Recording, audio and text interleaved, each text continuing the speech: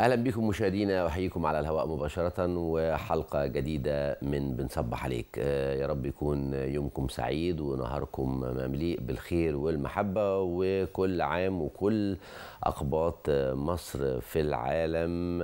العربي وفي مصرنا الحبيبة بخير يا رب ويجعله إن شاء الله عيد سعيد على الإنسانية وعلى مصر وعلى جميع أقباط مصر. تكون أجازة سعيدة. كلنا بنحب ناخد أجازة أكيد. طيب زي ما قلت إن إحنا عندنا فقرة المناسبات النهارده ذكرى ميلاد آه، الأديب جبران خليل جبران. والحقيقة هو آه، أديب عربي من شعراء العصر الحديث لمع نجمه الحقيقة واشتهر في آه، الغرب. وكان ليه العديد من الكتابات وحمل كلماته كرسالة بكل جراءة وعبر عن رأيه بحزم وثبات. وله العديد من المؤلفات الأدبية التي ساهم من خلالها بتطوير الأدب العربي الحديث واتبع فيها المذهب الرمزي وأسلوب التشكيل الفني وأيضا الدعوة إلى الحرية ورفض الموروث وإمتاز الأسلوب الثاني لجبران خليل جبران بتقصي الأهواء وحب الاستماع بالاستمتاع بالحياة. وهو يعني دايما كان بيتبع عدة أساليب للتعبير عن فكره كاستخدام الأسلوب القصصي وأسلوب التأمل وأسلوب المثل. وغلبت الحقيقة الرمزية على معظم كتابات جبران خليل جبران عدا كتابي آلهة الأرض وحديقة النبي وأسهم في رمزيته متأثرا بذلك بالكتاب. الحقيقة من أهم أقواله الحب لا يمكن شراؤه إلا بالحب. بين منطوق لم يقصد ومقصود لم ينطق تضيع الكثير من المحبة. ولا تتوقف الحياة بسبب بعض خيبات الأمل فالوقت لا يتوقف عندما تتعطل الساعة. أيضا من مواليد ام أيضا الفنان والملحن الشيخ زكريا أحمد الحقيقة اللي تمر اليوم الذكرى ال 127 على ميلاد الموسيقار الكبير زكريا أحمد ولد في 6 يناير عام 1896 وهو أحد عمالقة الموسيقى العربية. طبعا كما تعلمون عمل الشيخ زكريا مع عمالقة الموسيقى والغناء في مصر. بدأ التلحين للمسرح الغنائي ولحن لمعظم الفرق الشهيرة مثل فرقة علي الكسار وفرقة نجيب الريحاني طبعا وزكي عكاشة ومنيرة المهدية قبل أن يتحول العمل مع سيدة الغناء العربي كوكب الشرق أم كلثوم في بداية رحلتها الفنية. الشيخ زكريا أحمد الحقيقة اسم كبير في عالم الفن هو ليس فقط من كبار الملحنين وإنما من صناع التراث الموسيقي. الحقيقة من ضمن الألحان التي لحنها كان أكثر من ألف لحن ومنها 61 لحن فقط لأم كلثوم وغنى له كبار المطربين طبعا وقدم للمسرح عشرات الأوبريتات كما قدم العديد من الألحان للسينما وسجل بصوته بضعه ألحان منها لحن لحنان للتلفزيون عام 1960 طبعا أثار إعجاب الجمهور القديم والجديد على السواء نظرا لأدائه المتفرد. من الحانه التي تغنى بها وتغنت بها أيضا سيدة الغناء العربي أم كلثوم الورد جميل. الحقيقة أه طبعا أه الورد جميل من الأغاني الجميلة اللي غنتها أم كلثوم وتغنت بها وكلنا طبعا عارفين هذه الأغنية. الحقيقة ساعات قليلة مشاهدينا زي ما قلتوا يبدأ الاحتفال بعيد الميلاد المجيد وهذا هذا العيد الذي يعد من أهم ثاني أهم أعياد المسيحيين. اليوم ليلة عيد الميلاد. ساعات قليلة زي ما قلت مشاهدينا ويستقبل المسيح مصر عيد الميلاد المجيد الذي يعد ثاني أهم الأعياد المسيحية على الإطلاق بعد عيد القيامة المجيد. حيث يحتفل المسيحيون الشرقيون بذكرى ميلاد السيد المسيح في يوم 7 يناير من كل عام تخليدا لهذا الحدث المحوري في حياة البشر. والذي قسم التاريخ إلى ما قبل الميلاد وبعده. وجاء ميلاد المسيح ليقدم للإنسان ثلاث علاجات نافعة من نتيجة ناتجة من الضعف البشري فلا يسقط فيها وهي المجد لله في الأعلى وعلى الأرض السلام وبالناس المسرة. وتتمثل مدار احتفال الحقيقة الأسر المسيحية في عيد الميلاد المجيد في إقامة الاحتفالات الدينية بالكنائس والكاتدرائيات وقداس الميلاد وأصحاب احتفالات اجتماعية واجتماعات عائلية طبعا زي ما أنتم عارفين وتتبادل فيها الهدايا ووضع شجرة وشجرة الميلاد طبعا وصلوات خاصة لهذه المناسبة. أبرزها وضع شجرة الميلاد وتبادل الهدايا واستقبال بابا نويل وتناول عشاء الميلاد. يحتفل أيضا المسلمون المسلمون بعيد الميلاد وهو عطلة رسمية في مصر وأغلب دول العالم في الوطن العربي. عيد ميلاد مجيد وسعيد يا رب على أقباط مصر في كل حتة في العالم. الحقيقة بيقيم متحف الحضارة والفسطاط معرضا فنيا بمناسبة عيد الميلاد المجيد. هذه المناسبة الجميلة والعظيمة. روائع الفن القبطي تجذب زوار متحف الحضارة المصري. سعدنا الحقيقة يكون معنا على الهواء في مداخلة تليفونية الدكتور ميسر عبد الله ونائب رئيس تنفيذي للمتحف القومي للحضارة بالفسطاط. بنصبح عليك يا فندم كل سنة وأنت طيب. صباح الخير يا فندم كل سنة وحضرتك طيب وكل السادة المشاهدين بخير وسلام يا رب. آه طبعا في زي ما قلت متحف الحضارة بيقيم معرض احتفالا بعيد الميلاد المجيد عايزين نعرف من حضرتك مدة المعرض قد إيه ومحتويات هذا المعرض ومدى إقبال الزوار عليه. الحقيقة في إطار خطة المتحف القومي للحضاره للاهتمام والمشاركة بالأحداث الهامة اللي بتمر بها مصر ودول العالم إحنا عندنا خطة موضوعة لعدد من المعارض والفعاليات على مدار العام. أيوه وطبعا عيد الميلاد المجيد وبدء السنة الميلادية الجديدة يعتبروا من أهم الأحداث اللي بتحتفل بها مصر والعالم كله. طبعا. ولذلك كان لابد من الاستعداد لهذا المعرض من فترة بعيدة وهذا المعرض بدأ بتاريخ 1 يناير احتفالا بالسنة الجديدة وإن شاء الله هو مستمر لمدة 15 يوم. إن شاء الله. حوالي 16 يناير بإذن الله تعالى. إن شاء الله. وهذا المعرض هو بيمثل أو بيعطي فكرة للسادة الزوار عن الاحتفال والآثار اللي ارتبطت بعيد الميلاد المجيد وميلاد السيد المسيح عليه السلام. وأيضا بالفنون المسيحية اللي ظهرت في مصر من بدايات القرون الميلادية الأولى لغاية العصر الحديث. المعرض معروض عندنا تحت عنوان ليكن نور. ليكن نور هذه التسمية. أيوه. مستمدة من العهد القديم. من سفر التكوين آه باعتبار أن السيد المسيح عليه السلام هو نور الذي أضاء هذا العالم. إحنا الصراحة لما عملنا هذا المعرض آه وجدنا آه إقبال رائع من السادة الزوار مصريين والأجانب م. لأن جميع المقتنيات اللي بنعرضها في هذا المتحف في هذا المعرض تحديدا هي مقتنيات بتعرض لأول مرة. م. ودي عادة المتحف القومي للحضارة المصرية إن جميع المعارض المؤقتة اللي تم إقامتها قبل كده كل معارضاتها ومقتنياتها بتعرض للسادة الزوار لأول مرة. ده شيء جميل. آه إحنا بنتعمد هذا بالفعل. آه آه ولذلك آه إحنا بنعرض آه ما يقرب من 25 قطعة أثرية. آه أقدمها بيعود للقرن السادس الميلادي. وأحداثها بيعود للقرن العشرين طب يا ترى ابرزها أبرزها إيه في القيمة دكتور ميسر؟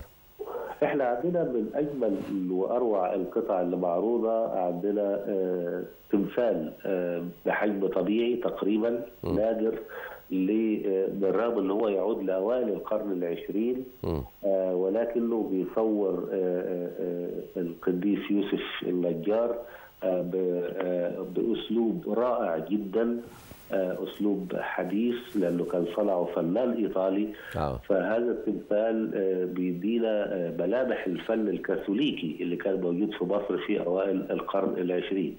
عندنا عدد من الأيقونات سواء المسيحية القبطية المصرية اللي هي مكتوبة بالخط العربي ومكتوبة بالخط القبطي أيوه. وعدد آخر من الأيقونات اللي بتعود لطائفة الروم الأرثوذكس اللي مكتوبة بالخط اليوناني أيوه. وهذه الأيقونات من الخشب المذهب اللي بتعود للقرون ما بين القرن ال 16 لغاية القرن ال 19 مذهبة وبتصور ميلاد السيد المسيح عليه السلام البشارة بمولده تعميد السيد المسيح عليه السلام في نهر الأردن. م. كمان من أهم المقتنيات اللي بيتم عرضها في هذا المعرض عندنا عدد من المخطوطات والكتب الهامة والنادرة اللي بتتراوح ما بين القرن أوائل القرن ال 15 وحتى القرن ال 18 نعم يمكن من أهمها كتاب المعلم والتلميذ اللي كتبه البابا كرولوس الثالث. وهذا الكتاب يعود للقرن ال 15 الميلادي اللي بيعطي مجموعة من المواعظ والحكم والتعاليم التي يجب على التلامذة أو الرهبان في الأديرة اللي هم اللي يتعلموها ويقتدوا بها أي. في الاتضاع وفي التقوى وفي الورع وفي يعني الخلق القوي تمام فإحنا الحمد لله عدد كبير من المقتنيات الرائعة اللي نتمنى اللي هي تسعد الساده الزوار عندنا. بالنسبة للزوار يعني واضح إنه في إقبال زي ما حضرتك قلت إقبال شديد على هذا المعرض من الأجانب والمصريين. هل هذا التقليد سيقام كل عام ولا لسه ولا ممكن يكون العام القادم يكون فيه فكر جديد وشكل آخر بالاحتفال؟ الحقيقة إن ده بيمثل تحدي لأنه إحنا المناسبات بتتكرر باستمرار لكن المعارض لابد وأن تتنوع طبعا. فإحنا إن شاء الله في العام القادم بإذن الله سيكون لدينا احتفال آخر بمولد السيد المسيح عليه السلام وبدء السنة الميلادية الجديدة ولكن بتصور جديد وبمقتنيات جديدة. إحنا خطة المعارض عندنا بتشمل عدد من المعارض على مدار السنة يعني لا يقل عن عشر معارض على الأقل كويس. آه لمناسبات آه قومية ودينية واجتماعية ووطنية. ولكن أيضا ما يهمنا أن على هامش هذه المعارض هناك عدد من الفعاليات الأخرى اللي بتتم. وعلى سبيل المثال إحنا بيعقد عدد من الورش. للأطفال آه والتربية المتحفية مجانية. وهذه الورش بتكون على هامش هذه المعارض.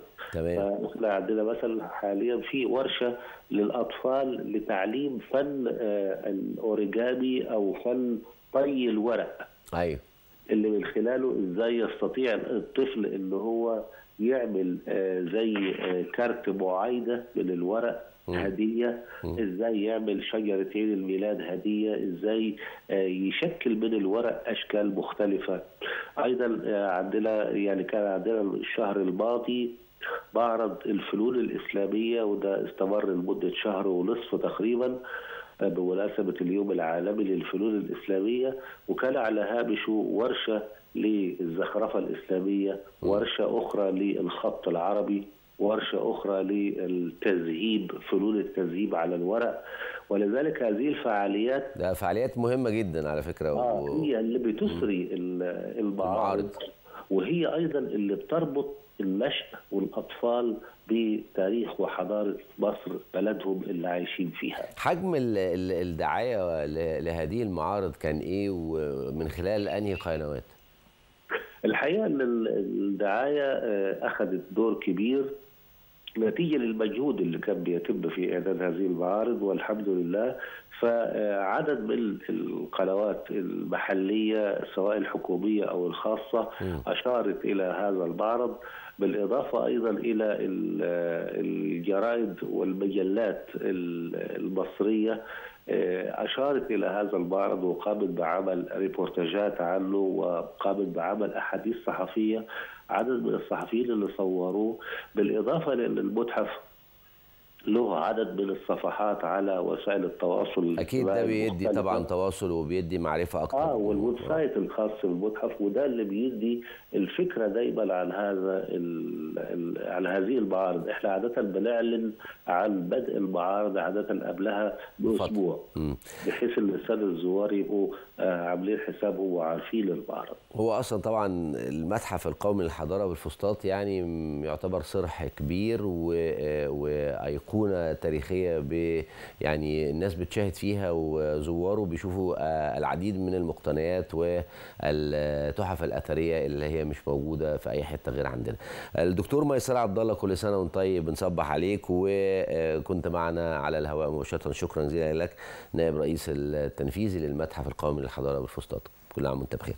على يوم 6 يناير 2024 طبعا على رأسها أخبار مصر رئيس السيسي يهنئ أخبار مصر بالخارج بمناسبة عيد الميلاد المجيد. هنأ الرئيس السيسي الحقيقة عبد الفتاح السيسي الرئيس عبد الفتاح السيسي أخبار مصر بالخارج بمناسبة عيد الميلاد المجيد. الأهرام الرئيس السيسي يوفد مندوبا لطائفة الاقباط الإنجيلية للتهنئة بعيد الميلاد المجيد. من أخبار اليوم أبو الغيط يستقبل وفد من الكونجرس الأمريكي ويطالب بوقف الحرب على غزة. من الوطن إدخال دفعة مساعدات ومواد غذائية جديدة لغزة عبر معبر رفح.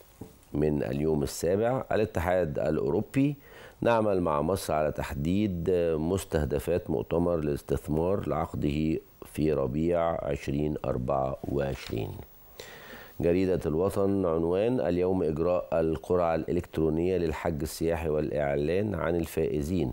تجرى اليوم السبت القرعة الإلكترونية العلنية لاختيار الحجاج الفائزين بالسفر لإدلاء لأداء فريضة الحج.